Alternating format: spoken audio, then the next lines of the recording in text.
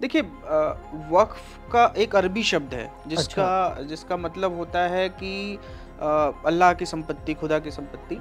2009 से आज केवल 15 सालों में डबल, डबल हो गई। जमीनें। हम्म। तो ये कहाँ से हो रही हैं डबल जमीनें? बोर्ड खुद ही इंफॉर्मेशन कलेक्ट करेगा। ठीक है।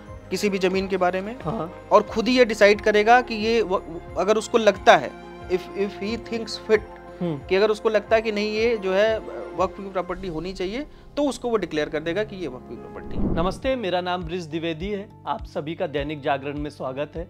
आज हम वक्फ बोर्ड के बारे में समझेंगे ये क्या है कैसे काम करता है और इसको लेकर बवाल क्यों हो रहा है इन सब पर विस्तार से बात करेंगे। हमारे साथ सुप्रीम कोर्ट वकील रुद्र विक्रम सिंह जी है। सर आपका बहुत बहुत स्वागत है। थैंक यू सो मच धन्यवाद। एक्चुअली जब हम लोग देखते हैं कि वक्फ बोर्ड को लेकर तो बार बार बवाल होता रहता है अलग अलग नेता अलग अलग तरह से बयान देते हैं कुछ इसके फेवर में होते हैं तो कुछ इसके अगेंस्ट में होते हैं। तो मैं जानना चाहूँगा कि एग्जैक्टली exactly इसको लेकर इतने सवाल क्यों खड़े किए जा रहे हैं हमारे देश में? देखिए क्योंकि वक्फ एक ऐसी आ, ऐसा कानून है या इस कानून को ऐसा बना दिया गया है समय दर समय 1954 से अगर मैं शुरू करूँ और उसके बाद हम्म। समय दर समय इसको जब भी कांग्रेस की गवर्नमेंट आती है उसको ऐसे चेंज कर दिया जाता है। मन मुताबिक तरीके से ऐसे चेंज कर दिया गया। कि कई बार ऐसा हुआ कि सुप्रीम कोर्ट के केस जो सुप्रीम कोर्ट के डिसीज़न थे उसको भी बदल दिया गया सिर्फ़ कि हम्म। वक्फ बोर्ड की जो अथाह उनको पावर्स मिली हुई हैं वो उनकी अथाह जो शक्तियाँ हैं जो पावर्स हैं वो एज इट इज़ बनी रहें और अगर हम इसको वाकई में वक्फ एक्ट को अध्ययन करेंगे और जो उसके अमेंडमेंट्स का अध्ययन करेंगे तो हम पाएँगे कि ये जो कॉन्स्टिट्यूशन का जो हमारा जो संविधान है जो हम्म। संविधान मतलब हम्म। जो बराबरी के अधिकार की बात करता है जो ये कहता है कि इस देश में रह रहे सारे लोगों को एक समान अधिकार है उन अधिकारों अधिकारों की मतलब पूरे तरीके से अवहेलना करता है ये वक्फ एक्ट तो शायद इसीलिए इस इसमें विवाद होते रहते हैं इसमें जब भी कांग्रेस के अलावा कोई भी गवर्नमेंट आती है जैसे मुरारजी देसाई की जब गवर्नमेंट आई तो एक बर्नी कमेटी की रिपोर्ट जब सबमिट की गई थी जो हम्म। इंदिरा गांधी जी ने बनाई थी तो उस बर्नी कमेटी की रिपोर्ट को डिसअप्रूव कर दिया गया क्योंकि वो उसने पूरी पूरी फखरुद्दीन अली अहमद ने ये कमेटी बनवाई थी तो वो हम्म। पूरी की पूरी कमेटी की रिपोर्ट जो है इसलिए बनाई बनाई गई थी कि वक्त वक्त की जो प्रॉपर्टीज़ थी हम्म। उसको उसके लिए बनाई गई थी पूरी तरीके से वो रिपोर्ट की गई थी तो समय दर समय जब आप इतिहास उठाकर देखेंगे 1954 से तो ये समझ में हम सबको आ जाएगा हम्म। कि क्यों इस पर इतना विवाद होता है वैसे जब हम थोड़ा सा पीछे चलेंगे कि मैं जानना चाहूँगा कि वक्फ बोर्ड है क्या एग्जैक्टली exactly? इसका मतलब क्या है और ये कैसे मतलब अस्तित्व में आया कब बना देखिए वक्फ का एक अरबी शब्द है जिसका अच्छा। जिसका मतलब होता है कि अल्लाह की संपत्ति खुदा की संपत्ति 1954 में मुझे लगता है कि जवाहरलाल नेहरू ने किसी अच्छे आशय से किसी अच्छे संदर्भ में इसकी स्थापना की होगी हम्म। क्योंकि ये ये स्थापना इसलिए हुई थी कि जो भी मुस्लिम की प्रॉपर्टीज़ हैं ठीक है उनका एक सही से रख रखाव हो सके क्योंकि बहुत सारे मुस्लिम जब भारत से पाकिस्तान चले गए तो बहुत सारे प्रॉपर्टीज़ को वक्फ बोर्ड ने एक्वायर किया वक्फ बोर्ड ने लिया या वक्फ बोर्ड को उन्होंने दान कर दिया क्योंकि उनको ये लगता था कि कम से कम हमारी जो प्रॉपर्टीज़ हैं वो वो सही हाथों में रहेंगी और वक्फ बोर्ड का निर्माण इसलिए नहीं हुआ था कि आप जमीने ज़मीनें हथियाइए हम्म। आप एक समय में ऐसा हो जाइए कि आप सबसे बड़े संपत्ति के मालिक हो जाए आपका वक्फ बोर्ड का निर्माण इसीलिए हुआ था कि जो भी मुस्लिम मुस्लिम लोगों की संपत्तियाँ हैं जो लोग देश से बाहर चले गए या हम्म। जो देश में रह रहे हैं वो भी अगर आपको कोई संपत्ति दान कर रहे हैं तो आप उसमें कोई नेक कार्य करिए। कोई मुस्लिमों के जो उनके धर्म के कार्य होते हैं या फिर और भी आप उसमें मदरसे बनवाइए या फिर और मस्जिदें बनवाइए जो भी धर्म के कार्य होते हैं जो भी नेक काम होते हैं मुस्लिमों के लिए वो आप करिए। लेकिन अगर आप अध्ययन करेंगे 2009 में अगर हम देखेंगे तो इनके पास चार लाख एकड़ जमीनें थी। आज 2024 में आठ लाख एकड़ जमीनें हैं। तो हम्म। सिर्फ़ देखिए कैसे विकास जो है वक्फ बोर्ड का हो रहा है मैं अभी एक रिपोर्ट भी पढ़ रहा था उसमें ये है कि जो रेलवे बोर्ड है और कैथलिक चर्च के बाद तीसरे नंबर पर वक्फ बोर्ड है जिसके बाद आठ करोड़ आठ आठ लाख आठ लाख एकड़ आठ लाख एकड़ जमीनें हैं पूरे देश में। तो और ये 2009 में अगर आप देखेंगे तो सिर्फ़ चार लाख एकड़ थी। हाँ। 2009 से आज केवल पंद्रह सालों में डबल, डबल हो गई। जमीनें। हम्म, तो ये कहाँ से हो रही हैं डबल जमीनें? हम्म। तो ये यही एक मसला जो इसलिए ये एक विवाद का विषय है क्योंकि जो अथाह अधिकार वक्फ बोर्ड को मिला हुआ है वक्फ एक्ट के तहत उन अधिकारों को हम्म। क्योंकि वो संविधान की पूरी की पूरी तरीके से अवहेलना है। आप बताइए कि किसी भी कानून को या फिर किसी भी ट्रिब्यूनल के ऑर्डर को आप कहीं चैलेंज नहीं कर सकते। आप हाई कोर्ट में चैलेंज नहीं करते आप सुप्रीम कोर्ट में चैलेंज नहीं कर सकते। अच्छा आप जैसे नॉर्मली जब कोई जजमेंट आता है उसको हम लोग हायर कोर्ट में अपील कर सकते हैं या चैलेंज कर वक्फ के जो ट्रिब्यूनल के फैसले उसको चैलेंज नहीं कर सकते आप ये कह रहे हैं? बिल्कुल सेक्शन सिक्स जो वक्त का है जो वक्त ट्रिब्यूनल की बनाता है कि वक्त ट्रिब्यूनल एक होगा वक्त हाँ। ट्रिब्यूनल में अगर कोई भी वक्त से रिलेटेड कोई भी संपत्ति का कोई विवाद आता है तो वक्त बोर्ड ही कोई ट्रिब्यूनल एक है वक्त ट्रिब्यूनल वक्त ट्रिब्यूनल उसकी सुनवाई करेगा और वो जो ऑर्डर देगा वक्त ट्रिब्यूनल वो फाइनल होगा। आप उसको कहीं चैलेंज भी नहीं कर सकते। तो ये ये बताइए किस ये कौन सा कानून है कि जो किसी की किसी कानून को या फिर हम हम सब जानते हैं कि भाई डिस्ट्रिक्ट कोर्ट से कोई हमारे ऑर्डर आया हमारे अगेंस्ट आया हमारे फेवर में हम उसको चैलेंज कर सकते हैं हाई कोर्ट में चैलेंज कर सकते हैं फिर सुप्रीम कोर्ट में चैलेंज कर सकते हैं। फिर सुप्रीम कोर्ट से भी अगर मान लीजिए ऑर्डर नहीं समझ में आया तो हमको रिव्यू क्यूरेटिव पिटिशन हमारे सारे अधिकार हमारे पास होते हैं। लेकिन सिर्फ़ अगर आप वक्त की संपत्ति है और वक्त की संपत्ति भी कैसे है? अगर मान लीजिए आज आप आपका ये घर है हम्म, कल को वक्फ बोर्ड ने कोई एक जो उनका रूल होता है सेक्शन फोर और फाइव के तहत उन्होंने कोई सर्वेयर भेज के और इसकी सर्वे करा लिया। सर्वे करा के ये बोल दिया कि नहीं नहीं ये संपत्ति तो वक्फ की है। तो वो संपत्ति अब उनकी हो गई। सेक्शन सिक्स सेक्शन फोर्टी में ये उनके पास अधिकार है कि अगर उन्होंने डिक्लेयर कर दिया कि this belongs to waqf property तो वो फिर उनकी हो गई। आप इसमें कोई कुछ नहीं कर सकता। आप सिर्फ़ वक्त ट्रिब्यूनल में चैलेंज कर सकते हैं और वक्त ट्रिब्यूनल भी उन्हीं का है।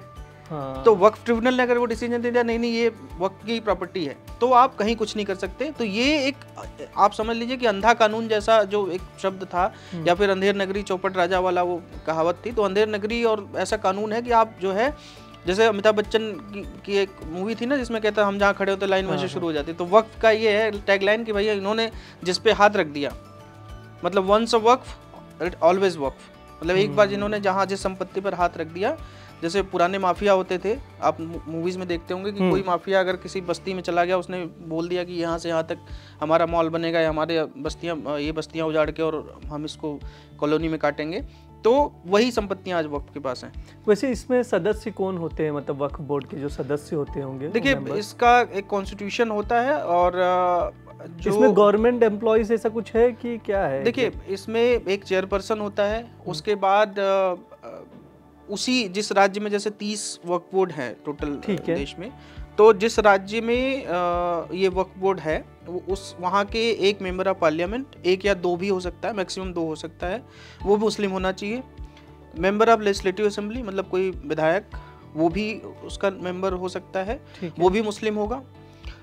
या फिर अगर मान लीजिए कि उस राज्य का नहीं है तो आप एनसीटी ऑफ़ दिल्ली को मतलब दिल्ली का अगर कोई विधायक या सांसद है तो वो उसमें मेंबर हो ले सकता सकते है हैं, हाँ। मेंबर हो सकता है ठीक है एक कोई सिविल प्लानर जो होगा वो भी मुस्लिम होगा मतलब जो भी मेंबर्स इसके होंगे सारे वो मुस्लिम होंगे जो नया एक्ट आ रहा है मैं इस पे इसी हाँ, हाँ। क्योंकि आपने बहुत रिलेवेंट क्वेश्चन पूछा है तो जो नया एक्ट जो संशोधन हुआ है उसमें सिर्फ़ यही कहा जा रहा है कि उस जो आपने जो एक्ट है उसमें एक तो वो कह रहे हैं कि भाई इसमें महिलाओं का भी इंक्लूजन होना चाहिए। ठीक है। तो एक तरफ़ आप जहाँ मतलब आधी आबादी को महिला सशक्तिकरण की बात करते हैं उस महिला सशक्तिकरण की बात में अगर महिलाओं को ये कहा जा रहा है कि भाई आप महिलाएँ भी इसमें मेंबर हो सकती हैं महिलाएँ भी इसकी सदस्य हो सकती हैं हाँ। उसमें उसमें बुरा क्या है? बिल्कुल। दूसरी बात वो नन मुस्लिम को भी इंक्लूड करना चाह रहे हैं कि कुछ नन मुस्लिम भी इसमें इंक्लूड कर दिया जाए तो उसमें भी मुझे लगता है कोई बुराई नहीं है। हम्म। तो ये जो है एक मतलब अनायास ही एक बखेड़ा खड़ा किया जा रहा है कि ये संविधान पर चोट है और ये हुआ। है हम्म, भाई किसी महिला को अधिकार देना किसी महिला को शक्ति देना जो कि देखिए पिछले गवर्नमेंट ने ये हुआ कि भाई उनको आरक्षण भी दिया गया कि सिर्फ़ हम्म। उनका क्यों? कि रिप्रेजेंटेशन बढ़े उनका। बिल्कुल। देश के जो विधायी शक्तियाँ हैं जो विधायी विधानसभा है या फिर हमारा लोकसभा है उस पर उन, उनकी शक्तियाँ बढ़े उनका रिप्रेजेंटेशन बढ़े। जी। तो ये सिर्फ़ यही इंक्लूजन है। और कोई उसमें कोई बहुत बदलाव नहीं किया जा रहा है। एक और एक बदलाव है सेक्शन 40 में जो मैंने आपको बोला कि सेक्शन 40 जो बात करता है कि किसी भी प्रॉपर्टी को अगर वो कह देंगे ये वर्क प्रॉपर्टी है तो ये वर्क प्रॉपर्टी हो जाएगी तो एक वो भी बदलाव होना चाहिए क्योंकि भाई अगर मान लीजिए आप आप कल को तो किसी प्रॉपर्टी को जैसे कि आपने कई सारे विवाद सुने हाँ। अभी हाँ। कि जो नया संसद बना किसी मौलाना ने कहा कि ये वक्त की प्रॉपर्टी है तो कल हाँ। को हाँ। आप कहीं भी कह देंगे कि ये वक्त की अच्छा तो इसमें गवर्नमेंट या कोई कुछ भी नहीं कर सकता अगर वो डिक्लेयर कर नहीं अगर उन्होंने वो, डिक्लेयर कर दिया तो हाँ। आप गवर्नमेंट क्या करेगी उसमें इस यही तो यही तो समस्या है सेक्शन 40 सेक्शन 40 एकदम क्लियरली कहता है हम्म, कि वक्त जो भी अगर वक्त बोर्ड को ये लगेगा कि ये प्रॉपर्टी ये वक्फ की है तो हम्म। वो वक्फ की प्रॉपर्टी हो जाएगी अच्छा इसके भी टाइप्स हैं क्या अलग अलग टाइप्स के होते हैं क्या वक्फ बोर्ड जो है अलग अलग देखिए वैसे तो आ, आ, हर स्टेट को ये पावर है कि वो, वो वक्फ बोर्ड अपना बना सकता है, है। दूसरा एक उनके हम्म। धार्मिक आधार पर भी कुछ ऐसा डिवीज़न है कि एक सिया वक्फ बोर्ड और सुन्नी वक्फ बोर्ड के टाइप के होते हैं तो और और जो आधिकारिक रूप से जो हम्म। भारत सरकार की तरफ़ से है वो ये है कि सारे स्टेट अपने यहाँ वर्क बोर्ड का निर्माण कर सकते हैं जिसका हेड ऑफ़िस ज़्यादातर की हेड ऑफ़िस दिल्ली में है और कुछ कुछ के अपने स्टेट्स में भी है। हम्म, तो अच्छा इसमें कैसे मतलब एग्जैक्टली exactly वर्क करता कैसे? ये बोर्ड काम कैसे करता है? इसका प्रोसेस क्या है पूरा? देखिए जैसा मैंने आपको शुरू में बताया कि जवाहरलाल नेहरू पंडित जवाहरलाल नेहरू जी ने जब इसकी स्थापना की होगी 1954 में तो बहुत मुझे लगता है कि बहुत एक अच्छे आशा से एक हम्म। एक अच्छे नियत से उन्होंने इसकी स्थापना की होगी। और इसका हम्म। निर्माण इसीलिए किया गया था कि जो मुस्लिम संपत्तियाँ हैं मान लीजिए जो अनक्लेम्ड प्रॉपर्टीज़ हैं हम्म। जो मुस्लिम भारत छोड़ के वहाँ चले गए जो जिसको हम एनिमी प्रॉपर्टीज़ भी कहते हैं जिनको जो मान लीजिए कि जो एनिमी प्रॉपर्टीज़ हैं वो तो इसका अलग एक नियम कानून है लेकिन जो लोग दान करके गए यहाँ से जो लोग हम्म। उन्होंने वक्त को दान कर दिया तो उनका हाँ। रख रखाव कैसे होगा उनका मैनेजमेंट कैसे होगा वो प्रॉपर्टीज़ हैं तो भाई उन प्रॉपर्टीज़ में कुछ ना कुछ काम होगा बिल्कुल धर्म धर्म के हम्म। काम होंगे कुछ और काम होंगे तो वो और आप देखिए कि जितने भी वक्फ की प्रॉपर्टी लगभग लगभग प्रॉपर्टीज़ में वहाँ पे धर्म के काम कुछ नहीं होता। वहाँ पे कोई ऐसा मुस्लिमों की बेहतरी के लिए कुछ नहीं होता। वहाँ सारी की सारी कॉमर्शियल प्रॉपर्टीज़ होनी है।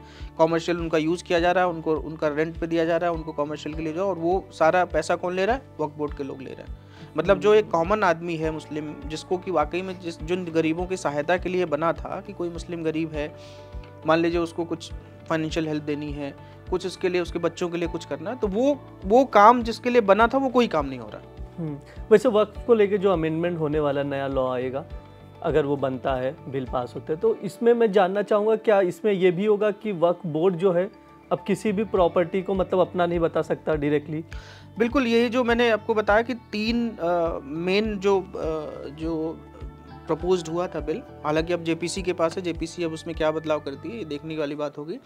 लेकिन अभी जो प्रपोज बिल था उसमें ये था कि नन जो इनके वक्फ बोर्ड का जो बोर्ड है उसमें नन मुस्लिम और महिला महिलाओं का मुस्लिम महिला का ही इंक्लूजन हम्म। होगा उसमें मुझे लगता है कि बहुत अच्छी बात है कि सबका रिप्रेजेंटेशन होना चाहिए हाँ, मुस्लिम हाँ। महिलाओं का रिप्रेजेंटेशन होना चाहिए और एक जो दूसरा अमेंडमेंट है उस सेक्शन 40 का मैंने बताया सेक्शन 40 जो आ, ये कहता था कि आ, ये वक्फ कोई भी प्रॉपर्टी वक्त डिक्लेयर कर सकता है मैं आपको एक बार पढ़ के भी बता देता हूँ सेक्शन फोर्टी हाँ। क्योंकि ये बहुत ज़रूरी है ये जानना भी चाहिए लोगों को सेक्शन फोर्टी वाकई में है क्या जिसका जब जो सबसे बड़ा विवाद का कारण है हाँ. वो सेक्शन फोर्टी है सेक्शन फोर्टी ये कहता है कि the board may itself collect information regarding any property which it has reason to believe to be work property and if any question arises whether particular property work property or not whether work sunni or a shia it may after making such inquiry it may deem fit decide decide the question मतलब इसका मैं हिंदी में अनुवाद ये बता दूँ कि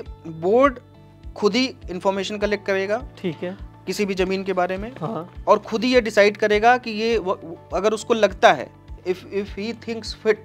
कि अगर उसको लगता है कि नहीं ये जो है वक्फ की प्रॉपर्टी होनी चाहिए तो उसको वो डिक्लेयर कर देगा कि ये वक्फ की प्रॉपर्टी है। ये सेक्शन फोर्टी जो सबसे सबसे बड़ा जो विवाद का कारण है हम्म। वो जो जो इसको अथा शक्ति देता है सेक्शन फोर्टी वो सबसे बड़ा मुझे लगता है कि सबसे बड़ा विवाद का कारण ये है। तो इसको भी अमेंड किया जा रहा है कि भाई आप ऐसे ही किसी प्रॉपर्टीज़ को थोड़ी डिक्लेयर कर हम्म, देंगे कि हम्म। नहीं ये प्रॉपर्टी ये प्रॉपर्टी वक्त यही प्रॉपर्टी आप, आप तो पूरी जैसा कि आप जिस तरीके से जिस गति से जैसा मैंने बताया कि 2009 में चार लाख एकड़ जमीनें थी आज आपके पास आठ लाख एकड़ ज़मीन वो भी तो आप वो भी मतलब अभी कोई आधिकारिक ये डेटा नहीं कि आठ लाख एकड़ ही है। हो सकता है हम्म। इससे ज़्यादा हूँ। वही वही और एक एक बात और की जा रही है जो नए प्रपोज बिल में कि इनका जो भी अब आपकी प्रॉपर्टी एक्वायर करेंगे या जो प्रॉपर्टी अब वर्क के अंदर आएगी उसका एक अलग डेटा कलेक्ट किया जाएगा उस डेटा में आपको फीडिंग करने को उसमें रजिस्ट्रेशन कराना होगा। ये और अच्छी बात है कि कम से कम पारदर्शिता रहेगी कितनी प्रॉपर्टी आपके पास है कितनी प्रॉपर्टी हम्म। नहीं है। तो यही चार मेन जो बातें हैं जो अमेंडमेंट इसमें किया जा रहा है। एक तो उस डेटा को प्रॉपर पब्लिश किया जाएगा ट्रांसपेरेंट सबको पता होना चाहिए। अगर हम्म। आप कोई ऐसा कोई पर्सनल काम तो कर नहीं ना अपने धर्म का ही काम करना तो कम से कम सारे लोगों को पता होना चाहिए कि हम जिस बोर्ड से जुड़े हुए हैं जिस जो बोर्ड हमारे लिए बना है हम्म, बिल्कुल। उनको पता होना चाहिए कि कितनी प्रॉपर्टीज़ हैं हमारे पास। तीसरा सेक्शन फोर्टी का अमेंडमेंट और दो जो नन मुस्लिम और मुस्लिम महिलाओं का इंक्लूजन अच्छा आप लोगों के पास भी केसेस आते होंगे वफ के रिलेटेड या कभी कोई मामला आया हो या पिटिशन दाखिल हुआ हो, ऐसा कोई केस देखिए, एक एक बड़ा ऐतिहासिक मामला आपने बहुत अच्छा सवाल पूछा। एक बड़ा ऐतिहासिक मामला मैं कर रहा हूँ दिल्ली हाई कोर्ट में 2022 से। और उसमें बहुत निर्णायक मोड पे भी मेरे मुझे लगता है कि मामला पहुँच गया है इसमें मैं आपको बड़ा थोड़ा टाइम लूँगा इस, इस, इस सवाल हाँ, का जवाब मतलब वो हिस्ट्री से ही आएगा तो जी क्योंकि हाँ। ये मैं शायद इस जब मैं इसका जवाब दूँगा इस बारे में बताऊँगा तो मुझे लगता है कि आपको वक्फ की जो शक्तियाँ हैं हम्म। और वक्फ ने क्या क्या अभी तक किया और कैसे सरकारों ने काम किया सारा आंसर आपको मिल जाएगा ठीक है मैं 1911 से शुरू करता हूँ 1911 में जब दिल्ली बनी दिल्ली। को जब राजधानी डिक्लेयर किया गया तो उसके बाद सारी प्रॉपर्टीज़ जब तत्कालीन जो गवर्नमेंट थी, अंग्रेज़ों की सरकार थी तो वो उन्होंने सारी प्रॉपर्टी को एक डिमार्केशन किया कि ये पंजाब क्योंकि पंजाब का हिस्सा था पहले दिल्ली तो पंजाब से इसको अलग किया गया और ये बनाया गया कि भाई ये ये डिमार्केशन दिल्ली को किया गया। 1937 में दिल्ली इम्प्रूवमेंट ट्रस्ट को ये सारी आ, कुछ ज़मीनें मतलब लगभग ज़मीनें क्योंकि जो आज डीडीए है दिल्ली डेवलपमेंट अथॉरिटी जो है वो पहले दिल्ली इम्प्रूवमेंट ट्रस्ट था। दिल्ली इम्प्रूवमेंट ट्रस्ट को सरकार द्वारा दे दी गई इसके निर्माण के लिए जो भी चीज़ें बननी हम्म। थी कि भाई यहाँ पे क्या विकास किया जा सकता है दिल्ली का सारे कुछ करके। बीच में 1950 में जब देश आज़ाद हो जाता है 1954 में वक्फ एक्ट बन जाता है। 1970 में हम्म। अचानक वक्फ बोर्ड जो है एक नोटिफिकेशन पब्लिश करता है और लगभग 123 जो क्रीम प्रॉपर्टीज़ हैं दिल्ली की, मैं आपको आप कहीं भी देखेंगे, कहीं, जहाँ भी आपको ये लगे कि यहाँ पे ये प्रॉपर्टी नहीं होनी चाहिए या फिर यहाँ ऐसी लोकेशंस पे कहाँ, कैसे ये कमर्शियल चीज़ है मतलब छोटी सी मस्जिद है, उसके बाद जो है, अगर मान लीजिए कि 40 एकड़ की ज़मीन है तो दो एकड़ में मस्जिद हम्म। है और बाकी अड़तीस एकड़ में कॉमर्शियल प्रॉपर्टी चल रही है कॉमर्शियल एक्टिविटीज़ वहाँ चल रही हैं ठीक है तो दिल्ली की लगभग सारी प्राइम लोग आप दिल्ली के इस समय रेट आपको पता होगा कि अगर आप एक इंच ज़मीन भी शायद खरीदने पाए तो नॉर्मल आदमी दिल्ली में हम्म। नहीं खरीद पाएगा वहाँ के 123 प्रॉपर्टीज़ जो है वर्क बोर्ड डिक्लेयर करता है एक नोटिफिकेशन निकालता है और कहता है कि ये हमारी प्रॉपर्टी जो सेक्शन फोर्टी उनको पावर देता है अच्छा उन्नीस सौ इकहत्तर में यूनियन ऑफ़ इंडिया मतलब देश की हम्म। सरकार एक सूट फ़ाइल करती है दिल्ली की अदालत में कि नहीं भाई ये प्रॉपर्टीज़ हमारी है और ये गलत तरीके से इन्होंने डिक्लेयर किया है। हम्म। वो सूट चल रहा होता है। मीन वाइल फखरुद्दीन अली अहमद जो उस समय सिविल फ़ूड मिनिस्टर थे उन वो जो है एक बर्नी कमेटी की फॉर्म करते हैं 1974 में और वो ये कहते हैं कि आप इसमें सजेस्ट करिए कि क्या होना चाहिए। ये प्रॉपर्टीज़ को अगर उनको भी देना है तो क्या करना चाहिए। हम्म। उसके बाद बर्नी कमेटी अपनी रिपोर्ट फ़ाइल करती है 1978 में। तब तक सरकार बदल चुकी होती है। इंदिरा गांधी की जगह मुरारजी देसाई प्रधानमंत्री हो चुके होते हैं। उस बर, वो बर्नी कमेटी भी ऐसी रिपोर्ट फ़ाइल करती है वो और वही बर्नी कमेटी ये कहती है कि नहीं ये प्रॉपर्टी जो है वक्त की है।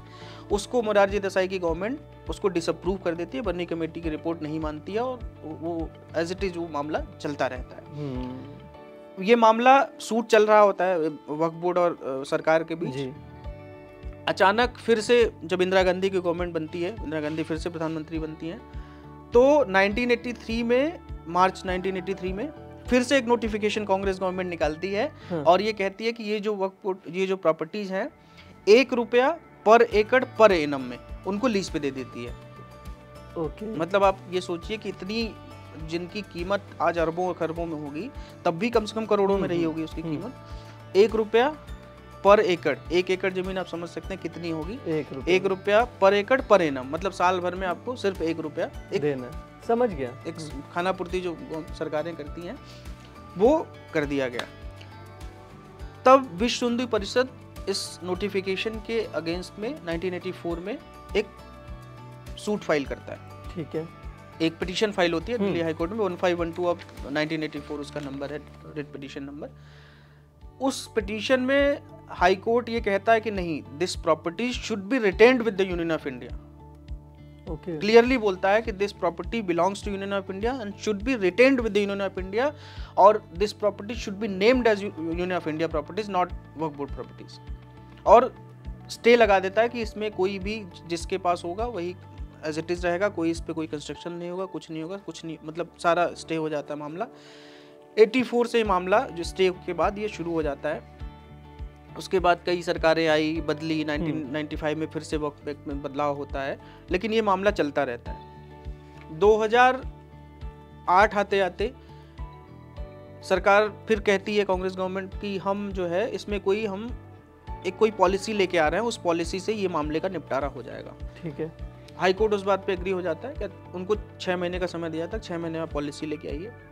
ये मामला चलता रहा 2008 से चलता रहा चलता एट्टी फोर से आठ रह गए फिर आठ से करते ग्यारह दो हज़ार ग्यारह में फिर एक एफिडेविट फ़ाइल करती है कांग्रेस हम्म। गवर्नमेंट कि हम इस पर policy within six month अब फाइनली हमको हम लेके आ जाएँगे।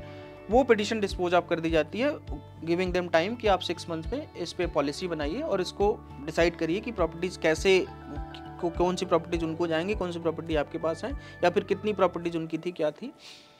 कोई पॉलिसी नहीं बनती है 2011 से लेके कुछ नहीं होता। है पाँच मार्च 2014 जिस हम्म। दिन इलेक्शन अनाउंस होने होते हैं हम्म, सुबह रात में 12 बजे एक नोटिफिकेशन और निकल जाता है और फिर से वो वो जो प्रॉपर्टीज़ हैं दिल्ली हाई कोर्ट का जो डिसीज़न था उसको पलटते हुए फिर से वो प्रॉपर्टीज़ वफ को दे दी जाती है। अच्छा। 2014 5 मार्च 2014 को फिर से उनको प्रॉपर्टी दी जाती है। उसी नोटिफिकेशन को चैलेंज करते हुए हमारी पिटिशन है कि जो आपने पाँच मार्च 2014 को जो फिर से नोटिफिकेशन निकाला हम्म, और जो दिल्ली हाईकोर्ट का पहले वाला नोटिफिकेशन था उसको लागू किया जाए।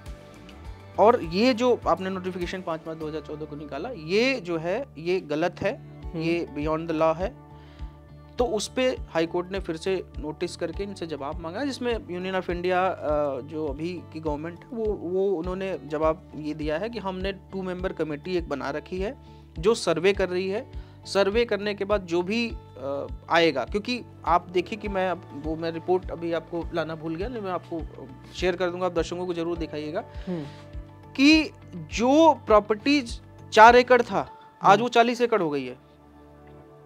ओके मतलब जो उस समय की जब अ, 1984 की अगर हम बात करें तो जो प्रॉपर्टी चार एकड़ थी आज वो चालीस एकड़ मतलब दो दो सौ परसेंटेज चार चार सौ परसेंटेज का उसमें एक्सपेंशन हुआ है उन प्रॉपर्टीज़ में।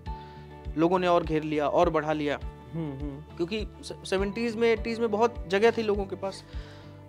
तो ये मसला जो है अब इसमें दिसंबर में हमारी अगली डेट है उसमें अच्छा। यूनियन ऑफ़ इंडिया सर्वे की रिपोर्ट फ़ाइल करेगी। उसके बाद मुझे लगता है कि ये डिसाइड हो जाएगा क्योंकि और डिसाइड यूनियन क्योंकि ये सरकार की प्रॉपर्टी है सरकार के फेवर में ही ये डिसीज़न मुझे जहाँ तक लगता है वो होना चाहिए। तो जो दूसरे देश हैं विदेशों की बात करें तो जैसे सऊदी अरब हुआ या पाकिस्तान हुआ तो यहाँ पर भी वक्फ बोर्ड होंगे ही। बिल्कुल। तो क्या मतलब अगर इंडिया इंडियन जो वक्फ बोर्ड है उससे कंपेयर करें तो क्या वो ज़्यादा पावरफुल है या इंडिया के जो वक्फ बोर्ड है वो ज़्यादा पावरफुल है? अब ये देखिए ये अ, मुझे लगता है कि ये बिल्कुल वाजिब सवाल है कि पाकिस्तान सऊदी नहीं जितने भी मुस्लिम देश हैं हाँ। जहाँ जहाँ भी वक्फ बोर्ड है ठीक है। उन सारे जगहों पे किसी वक्फ बोर्ड के पास इतनी पावर नहीं जितनी पावर हमारे हिंदुस्तान में वक्फ बोर्ड है जहाँ के मुस्लिम देश वाकई में मुस्लिम देश हैं वो जहाँ डिक्लेयर्ड मुस्लिम देश हैं उन मुस्लिम देशों में मुझे लगता है कि 35 से ज़्यादा मुस्लिम देश हैं पूरे विश्व में हम्म, डिक्लेयर्ड मुस्लिम देश। उन जगहों पर भी वक्फ बोर्ड के पास इतनी इतने पावर्स नहीं है कि वो किसी भी संपत्ति को उठा के ये बोल दे कि नहीं ये ये वक्फ की प्रॉपर्टीज़ है और उस पर अगर कोई क्वेश्चन अराइज होता है किसी को सूट फ़ाइल करना है किसी को कुछ फ़ाइल करना है तो वो उसी वक्त के ट्रिब्यूनल में जाएगा और वक्त ट्रिब्यूनल ने जो फैसला दे दिया वो फाइनल होगा। ये किसी भी हम्म। किसी भी देश को आप चले जाइए ना ही उनके पास इतनी प्रॉपर्टीज़ हैं जो आठ लाख एकड़ में बता रहा हूँ। ठीक है। ये तो ये या मतलब ये कोई आधिकारिक आंकड़ा नहीं हम्म, है हम्म, ये हम्म। सिर्फ़ एक अनुमानित आंकड़ा है आठ लाख एकड़ मुझे लगता है इससे बहुत ज़्यादा संपत्तियाँ उनके पास होंगी क्योंकि ये तो सिर्फ़ एक अनुमान क्योंकि कोई डेटा तो है नहीं किसी के पास। हम्म, जो जिस डेटा पब्लिश की बात हो रही है कि नए कानूनों में कि जो डेटा पब्लिश किया जाएगा कि हर बोर्ड अपना पब्लिश करेगा कि आपके पास कौन कौन सी प्रॉपर्टीज़ हैं कौन कौन सी प्रॉपर्टी इनके नाम पे हैं हम्म, तो वो पब्लिकेशन है ही नहीं है। ये तो आठ लाख एकड़ एक एक अनुमान लगाया जा रहा है कि इतनी होनी चाहिए इससे कहीं ज़्यादा मुझे ऐसा लगता है कि इससे कहीं ज़्यादा ज़मीनें होंगी उसके पास। तो इतनी शक्तियाँ सिर्फ़ दो देशों में नहीं जितने भी मुस्लिम देश हैं उन देशों में आप पता कर लीजिए उनके एक्ट को पढ़ लीजिए इतनी शक्तियाँ नहीं है किसी के पास। तो आप कहना चाह रहे हैं कि जो बोर्ड है वक्फ बोर्ड भारत का उसको एक तरफा पावर दिया गया है? अथाह पावर एक तरफा नहीं अथाह अथाह शक्ति होती है ना जो? हाँ। अथाह शक्तियाँ होती है जो भगवान के पास अथाह शक्ति होती है। हम्म, लोग जो बिलीव करते हैं जो गॉड में बिलीव करते हैं अल्लाह में बिलीव करते हैं भगवान में बिलीव करते हैं। लोग कहते हैं ना कि भगवान के पास अथाह शक्तियाँ हैं। हम्म, भगवान कुछ भी कर सकता है कभी भी आधी तूफ़ान ला सकता है। तो ये जो है इन वर्क बोर्ड के पास भी अथाह शक्तियाँ हैं। किसी प्रॉपर्टीज़ को कल को हम यहाँ बैठे हैं हो सकता है वक्फ बोर्ड वाले अगर हमारे डिबेट हमारी बातें सुनने और अगले अगले दिन ये इसको भी डिक्लेयर कर दें कि ये तो वक्त की संपत्ति है। तो हो सकता है कि ये भी वक्त पे चली जाए। तो ये इतनी शक्तियाँ हैं वक्त बोर्ड के पास। क्या लगता है मतलब अगर चेंजेस की बात करें आप भी लॉयर हैं तो मैं जानना चाहूँगा कि क्या चेंजेस होने ज़रूरी है इसमें? देखिए जो चेंजेस सरकार ने प्रपोज किए हैं मुझे लगता है बिल्कुल सही हैं। देखिए अच्छा। सेक्शन फोर्टी तो बिल्कुल हटाया जाना चाहिए। आप मतलब एक संविधान का जो बहुत बेसिक जानता है आर्टिकल 14 15 राइट टू इक्वलिटी इन सब की जो जो भी बेसिक चीज़ें बात करता है हम्म। जो जो भी संविधान की बेसिक चीज़ें पढ़ता है जो कानून का थोड़ा सा भी आ, समझता है उस वो तो ये समझता ही होगा कि भाई कोई भी अगर इलीगल तरीके से कहीं कब्जा करता है या डिक्लेयर करता है तो उसके खिलाफ हम कोर्ट जा सकते हैं। हम्म, हम्म, उसके खिलाफ कोर्ट जाने की अनुमति सबको होनी चाहिए। दूसरी बात कोई भी ऐसा देश की संस्था चाहे वो सरकार ही क्यों ना हो सरकार भी अगर आपकी ज़मीन एक्वायर करती है तो पहले उसका प्रॉपर नोटिफिकेशन आता है प्रॉपर आपको दाम दिया जाता हम्म, है हम्म। कि भाई और ये भी है लैंड एक्विजिशन एक्ट में कि लगभग तीन गुना दाम दिया जाना चाहिए अगर आप कोई लैंड एक्वायर कर रहे हैं तो। सरकार भी अगर कोई सड़क बनाती है कुछ भी किसी भी चीज़ के लिए एक्वायर करती है तो लगभग लगभग तीन गुना दाम लोगों को देती है। तो इवन सरकार के पास भी ये पावर नहीं है कि किसी भी संपत्ति को ये डिक्लेयर कर दे कि नहीं सरकार की संपत्ति है। उसको भी प्रूफ हम्म। करना पड़ेगा कि सरकार की संपत्ति है। बिल्कुल। मतलब जो आ,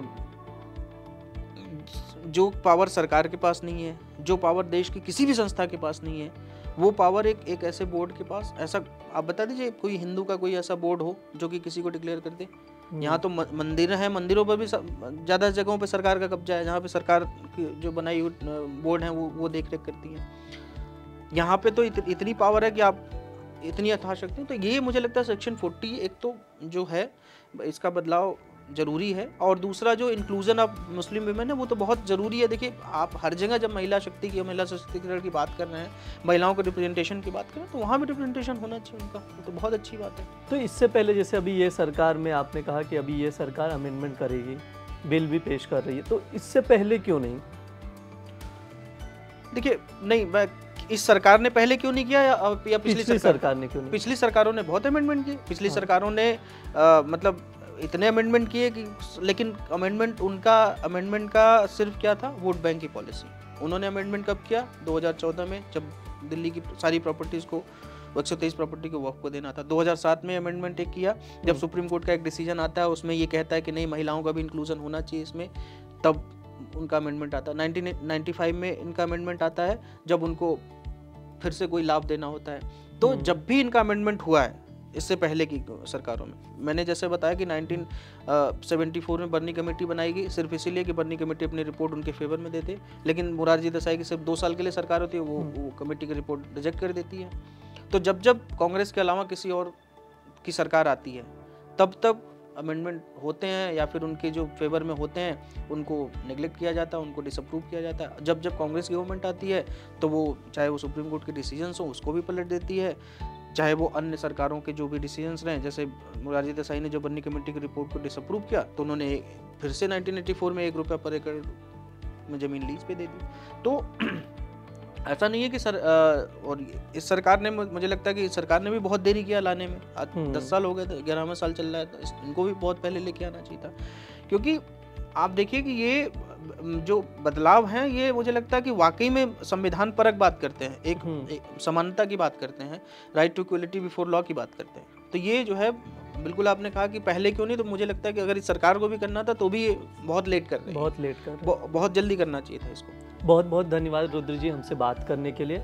जैसा कि हमने जाना कि वक्फ बोर्ड कैसे काम करता है, इसमें कौन सदस्य होते हैं और कैसे प्रॉपर्टी एक्वायर करता है, उसके पावर के बारे में भी जाना। अब अमेंडमेंट होने जा रहा है तो इसमें क्या क्या अमेंडमेंट चेंजेस जो होंगे वो भी सर ने बताया हम सबको। अब इसमें और क्या क्या होता है आगे, आने वाले समय में वो हम अपडेट आप तक लेकर आएँगे। देखते रहिए दैनिक जागरण, जुड़े रहिए दैनिक जागरण के साथ। शुक्रिया।